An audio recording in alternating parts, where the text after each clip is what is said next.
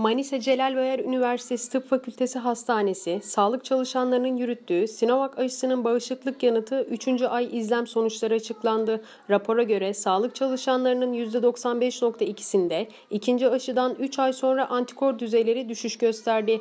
Tıbbi Mikrobiyoloji Anabilim Dalı Başkanı Profesör Doktor Sinem Akçalı, çalışmanın güzel bulgularından biri izlediğimiz grupta hastalanan kişi sayısının çok azalması dedi.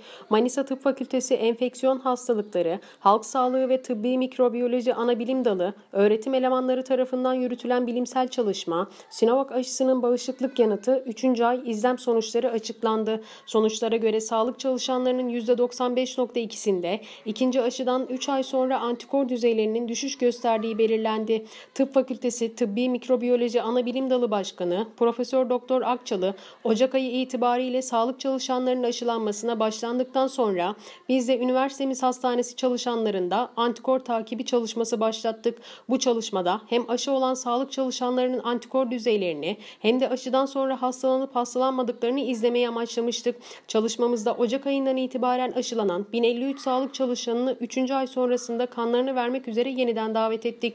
Bu 1053 sağlık çalışanından 820'si bize geri dönüş yaparak kanlarını verdiler. 1053 sağlık çalışanını COVID-19 hastalığı geçirip geçirmeme durumları açısından da takip ettik. Bütün sonuçları hep beraber analiz ettik. Alınan 820 kanda COVID-19'a karşı oluşmuş antikorları sayısal değer olarak belirlediğimiz, kantitatif dediğimiz bir testle analiz ettik. Daha sonra da sonuçlarını değerlendirdik diye konuştu. Profesör Doktor Akçalı, sağlık çalışanlarında antikor düzeylerinin 3. ay sonunda düştüğünü fark ettiklerini belirterek şunları kaydetti. Sağlık çalışanların %97'si antikor pozitifken 3. ay sonuçlarında bu oranın %77'ye düştüğünü gördük. Ayrıca tüm çalışma grubunun genel olarak %95.2'sinde antikor düzeylerinde bir düşüm olduğunu saptadık. Bu 3 aylık süre içinde aşılanan 1053 sağlık çalışanının %2.8'inin COVID-19'a yakalandığını tespit ettik. Her ne kadar antikor düzeylerimiz düşse de sağlık çalışanlarının bu aşılama sonrasında COVID-19'a karşı iyi bir şekilde korunmuş olduğunu gördük.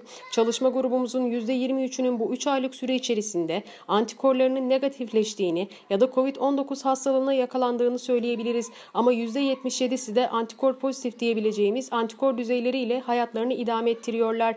Halk Sağlığı Anabilim Dalı Başkanı Profesör Doktor Erhan Eser de hastalanan 30 sağlık çalışanının antikorunun yüksek olduğunu ancak antikor sonuçlarına bakarak başarılı değerlendirmesi yapmadığının doğru olmadığını söyledi. Eser şöyle konuştu. Aşı olmuş 1053 kişiden 30 kişinin hastalanması son derece iyi rakam. Çok daha iyi rakam var. 151 sağlık çalışanının aynı hane içinde yaşayan yakını, eşi, çocuğu bu dönem içinde hastalanmış. Yakınları hastalanan bu 151 sağlık çalışanının sadece 18'i hastalığa yakalanmış.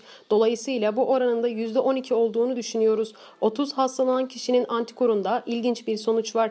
29'unun antikoru yüksek. Yani dolayısıyla sadece antikora bakarak başarı değerlendirmesi doğru değil. Profesör Doktor Eser, araştırma sonuçlarına göre yoksulluk, beslenme bozukluğu ve kötü koşulların hastalığa yakalanma riskini arttırdığını belirterek başta COVID-19 zengin fakir ayırt etmiyor denildi ama çok net ayırt ettiriyor.